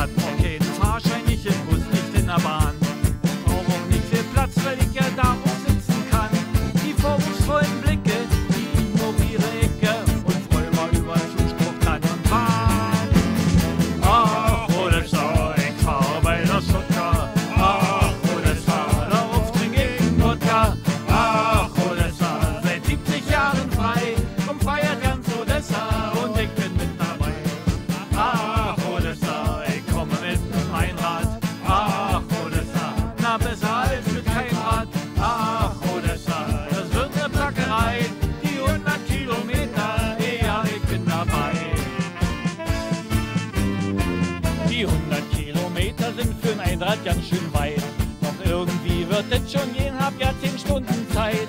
An jeder bestimmten Stelle steht für den Fall der Fälle ein Gläschen Wodka schon für mich bereit. Ach, Odessa, ich fahre bei der Sokka. Ach, Odessa, darauf trinke ich einen Wodka. Ach, Odessa, seit 70 Jahren frei. Zum feiert ganz Odessa und ich bin mit dabei. Ach, Mama,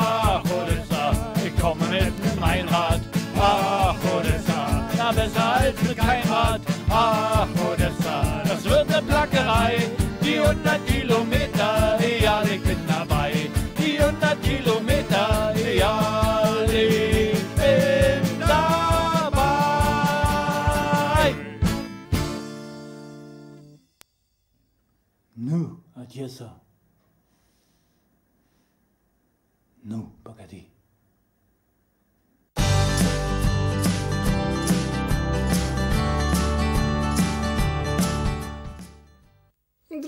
Ноті ми будемо продовжувати наш ефір і говорити про одеську велосотку. У нас у гостях Дмитро Волошенков, голова оргкомітету Велоралі, Сергій Торонченко, головний суддя та Руслан Бригунець, менеджер проєктів Велоралі. Друзі, рада вас бачити в нашій студії. Дякуємо, і ми вас теж. Так, Доброго ранку. Доброго ранку. Вже 7 квітня о 10.00, тобто це наступна субота, е, буде проходити, розпочнеться велоралі Одеська сотка. Чи все готове? Ну, я До думаю, что проведения. э, мы э, скажем нашим телезрителям, э, и традиционная, ежегодная, уже 36-я международная велоралли 100 километров по поясу славы, посвященная Дню освобождения города-героя Одессы от фашистских захватчиков. Эта традиция родилась достаточно давно, соответственно, 36 лет назад первый раз вышли желающие преодолеть этот маршрут на велосипедах, а еще на почти на 10 лет раньше э, вышли первые участники, которые преодолевали маршрут пешим ходом. Они каждый год участвуют, но последние, вот, наверное, несколько лет, или даже, может быть, больше, чем несколько, 10 лет, наблюдается динамика увеличения количества участников, которые хотят преодолеть на велосипеде, и уменьшение тех, кто преодолевает 100 километров э, пешим ходом. Э, Здесь очень важно будет заметить, что мы в этом году восстановили, на мой взгляд, правильную, э, такую хорошую традицию, нужную.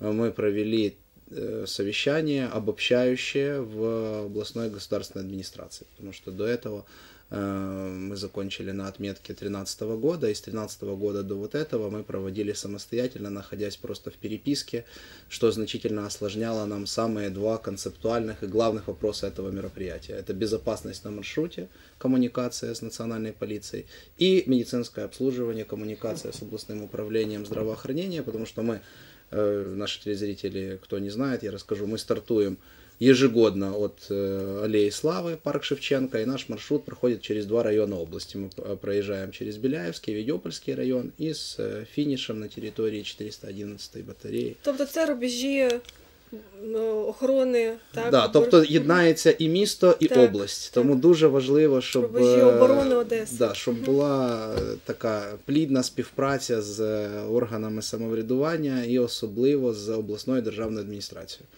Поэтому в этом году мы вернулись к этой традиции, буквально э, недавно провели совещание. Я надеюсь, что вот э, такой конструктивный диалог и совместная работа приведет к тому, что какие-то проблемы, которые возникают, к сожалению, каждый год. Потому что 2000 участников э, движения по трассе. Мы стараемся каждый год э, делать лучше что-то, какие-то моменты. Ну, каждая, каждая велогонка – это новый опыт и новые какие-то моменты, которые нам потом вот, э, мои коллеги, они находятся в контакте с участниками, которые потом в течение года делятся воспоминаниями, пишут благодарность или наоборот отмечают какие-то моменты, которые нужно исправить. Но э, что отрадно, что все-таки одесское гостеприимство и э, вот, энергетика Одесской области, она притягивает людей, и тех, кто один раз проехали или проучаствовали, для них это потом становится система, у нас уже есть даже семейные команды. Навіть так вже. Да, саме так. Тобто ніяких вікових обмежень немає. Від мала до велика усі можуть брати участь. Правильно? Главный судья. Головний суддя зараз нам розкаже. Да, здравствуйте еще раз. Э, В принципе, ограничений нет, но мы сразу просим э, участников, э, родителей, которые хотят взять на велоралли с собой детей, чтобы они э, несли за них ответственность, следили за ними, чтобы ни в коем случае не теряли из виду.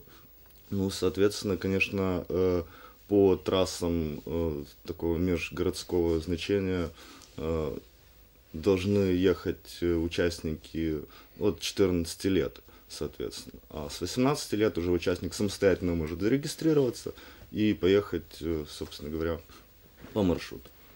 Реєстрація ще триває. Сьогодні, якщо я не помиляюсь, останній день, так? Давайте будемо запрошувати наших телеглядачів до участі і е, анонсуйте, де і як можна зареєструватися. Э, Зарегистрироваться можно уже традиционно, конечно, на, по адресу Старобазарный сквер 5. Э, Там находится Одесский туристский центр. Там участников э, ждут э, наш секретариат. Можно приходить напрямую туда, регистрироваться, сразу же получить э, номер и быть готовым к участию. Цей марафон вже міжнародний. Скільки часу вам знадобилося, щоб е, за кордоном дізналися про ваш марафон і вже приїжджали саме для того, щоб взяти у ньому участь? Ну, это была такая системная работа, более детально может рассказать Руслан. А вообще... Тобто все за планом. Да, а вообще, конечно, э, вы понимаете, для того, чтобы приезжали участники из-за рубежа, тут должны соединиться объективные и субъективные факторы. К сожалению, общая ситуация и политическая, и экономическая, и имиджевая, которая создается вокруг Украины, она не благоприятствует желанию э, представителей, э, скажем, других стран сюда приезжать. В прошлом году у нас были участники, если я сейчас не ошибусь, из четырех стран. У нас были представители Беларуси, у нас были представители Германии, у нас были представители Польши и а. Из России был один человек. Из России был один человек, э, парень, который с ограниченными физическими возможностями, да. Вот. Э, В этом году э, мы ожидаем, возможно, но еще нету подтверждения, э, точно будет команда из Белоруссии, они едут. Возможно, будет представитель Германии и, возможно, будут представители Китайской Народной Республики. Ну, навіть так. Дуже далеко Но, їм їхати. но это, Але, но, можливо- но- но мы вспоминаем э, велосотки 12, 11, 10 года, когда у нас количество э, уч- стран-участниц превышало 10. Поэтому нам есть к чему возвращаться, есть куда расти. Так, звісно, звісно. Які є категорії для учасників, і які е, вимоги? 14 років ми вже сказали. Що ще? Можливо, якісь документи медичні потрібно з собою, мати. О, Хорошо, я скажу. Э, Да нет, каждый участник может принять участие в велоралли 100 километров по поясу славы, вне зависимости от пола, вероисповедания, ну и так далее. Вот. э, На любом виде транспорте, даже на скейте, на роликах есть, кстати, да, есть парочки, которые преодолевают 100 километров на роликах. Ам, Необходимо просто зарегистрироваться. Я просто хочу вернуться к вопросам безопасности. Вот э, ввиду того, что с 12 даже с 13 года мы, ну, к сожалению, не получали должной поддержки от э, властных структур, от обл. администрации. Вот, э, ну, вот как-то, вот как Дмитрий Борисович говорит, вот так вот решались вопросы В ручном режиме. в ручном как каком-то вот режиме, да, без официальных каких-то встреч. А, Мы, в общем-то, как говорится, на Бога надейся, на администрацию надейся и сам не плашай. А, Мы разработали вместе с управлением а, дорожной безопасности, которое в Киеве находится, мы разработали онлайн-тест по правилам дорожного движения, а, ориентированный на, специали... на, на велосипедистов. А, Каждый велосипедист, мы просим каждого велосипедиста его пройти. Мы вместе с парамедиками в Одессе, есть САР компания, организация, мы разработали тест по оказанию первой доврачебной помощи. В этом году мы даже внедрили такой концепт вместе с торговой маркой Оливер Смит, которая является одним из спонсоров наших. Мы внедрили, простите, такой концепт, когда а, мы никогда не отгоняли участников, не запрещали, не снимали с дистанции, у которых нету шлема велосипедного. Но сейчас каждый участник, который будет преодолевать нашу дистанцию, он получит возможность, а, если у него будет шлем, он получит бесплатные, ну, э, вкусные бонусы от нашего спонсора. Вот, ну, как бы таким образом пытаемся мотивировать людей, чтобы они... Потому что одесская велосотка, она немножко другая по сравнению с другими, кстати, велосотками, которые есть по Украине. А, у нас каждый победитель. У нас нету каких-то таких э, особых стремлений там, ну, то есть каждый человек сам решает. Кто, мы даем возможность как тем людям, которые хотят э, получить какой-то спортивный результат, они получают должное сопровождение э, полиции и скорой помощи, преодолевая дистанцию там за два с половиной часа меньше. Также у нас есть возможность и для людей вот как э, с ограниченными возможностями, у нас есть целая команда, их э, 14 велосипедных тандемов слепые. То есть у них спереди зрячий пилот, а зря, сзади незрячие велосипедисты, как бы они тоже преодолевают эту дистанцию. То есть, ну, каждый, кто умеет, ну, крутить или толкать, он может, в общем-то, получить возможность преодолеть 100-километровую дистанцию. Вот. Ну, еще нужно сказать, что есть у нас и мобильное приложение Velorally Safety, которое э, пользователи Android телефонов э, могут скачать на, в Play Market, и с помощью этого приложения мы тоже будем организовывать э, эвакуацию да, участников. Ну и прежде всего прошу участников не забывать, в случае чего, если, не дай бог, что-то с вами случилось, первое, повторить все-таки ДТП, вот, все-таки иметь какую-то хотя бы, ну, минимальную аптечку скорой помощи для себя же, да, или в случае чего оказывать Для сусіда, який їде да, да, да, поддержку обязательно оказать человеку, который едет, ну, не дай бог, рядышком с вами. То есть даже если человек вот просто остановился или, ну, присел, то есть достаточно остановиться, спросить, что у него, как у него и так далее. И, в общем-то, не забывать и о том, что есть номера экстренных служб. Слава богу, администрации прошло совещание, и каждая, и скорая помощь, и полиция, они уже в курсе, они, э, так сказать, в оперативном, как в штыках, да, и, ну, вы поняли, да, на готовности. Тобто до позаштатних ситуацій ви готові. Дасть Якісь Бог. так, е, будемо сподіватися. Якісь е, ре- рекорди цікаві були спортивні поставлені під час е, вашого. Буквально рекорд- одна хвилинка, бо ми вже закінчуємо так. будь. Был рекорд, конечно, у нас был участник из Германии, собственно говоря, которого мы видели на видеоролике Видео, до этого. Он проехал 100 километров всю нашу дистанцию на одном колесе. Это, конечно, было очень интересно. Я знаю, что он повторял э, такой подвиг еще на других веломероприятиях, и было очень интересно, что он именно в нашем тоже решил это сделать. Э, ну, самое запоминающее то, что было. А если говорить про рекорды, э, спортсмены, которые принимают у нас участие, они, конечно, всегда стремятся преодолеть дистанцию как можно быстрее. Э, Для них э, это соревнования также между собой. Хотя э, у нас, э, в принципе, является каждый человек, кто проехал 100 километров и отжил за 10 часов победителем. Каждый получит медаль и сертификат. Так, нагадаємо, 7 квітня о 10.00 старт від Алеї Слави. Я дякую вам за участь у нашій програмі. Друзі, ми будемо за- Дякуємо.